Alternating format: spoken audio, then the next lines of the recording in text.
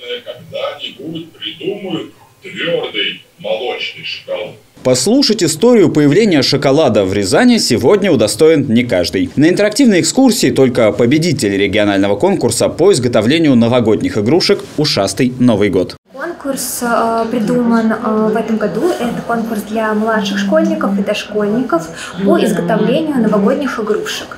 Э, в этом году он называется в соответствии с животным, которое э, по восточному календарю это год кролика. У нас называется конкурс «Ушастый Новый год». Вопреки ожиданиям, что состязание все же детское, победить было не так уж и просто. В конкурсной работе требования были жесткие. Во-первых, материал изготовления. Игрушки победителей украсят рязанские елки, поэтому никакой бумаги использовать было нельзя. Номинаций было несколько. Новогодний шар, снежинка, ретро-игрушка, новогодняя гирлянда флажки. Самое же главное – новогодний персонаж. Им стал кролик, символ нового 2023 года. И несмотря на суровые требования, ребята активно включились в конкурс. Больше двух тысяч новогодних игрушек поступило почти из 200 муниципальных образовательных учреждений. Это школы, учреждения дополнительного образования и детские сады. Последние, кстати, отправили на конкурс больше всего елочных украшений. В конкурсе приняло участие более 167 учреждений а,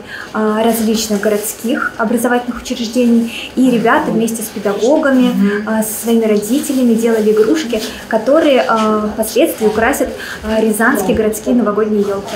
Победителей наградили в музее рязанского шоколада. Притом не абы кто, а Дед Мороз со Снегурочкой. Ребята получили дипломы победителей и приняли участие в сладком мастер-классе. И как главный сладкий приз – интерактивная экскурсия по музею рязанского шоколада. Валерий Седов, Михаил Лазуткин, телекомпания «Город».